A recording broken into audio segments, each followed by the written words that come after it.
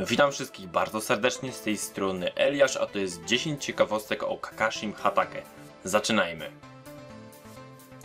Kakashi to po japońsku strach na wróble, a Hatake to pole, więc jego nazwa oznacza strach na polu. Kakashi jest znany na całym świecie w Naruto. Prawie każdy o nim słyszał i ma do niego szacunek. Według psa ninja Pakuna, Kakashi nie cierpi być fotografowany bez swojej maski.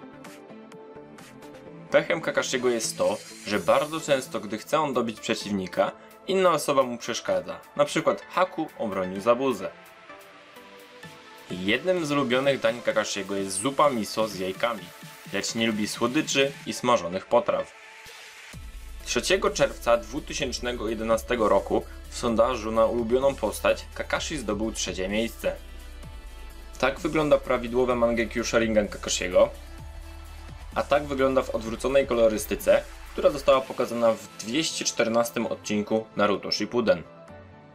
Kakashi ukończył 1141 oficjalnych misji, 197 rangi D, 190 rangi C, 414 rangi B, 290 rangi A i 42 rangi S.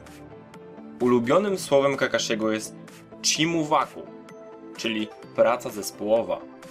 Według epizodów u nas nazwanych Rockli i Przyjaciele, Kakashi nosi maskę, aby ukryć krew lecącą z nosa, kiedy czyta książkę Icha Icha.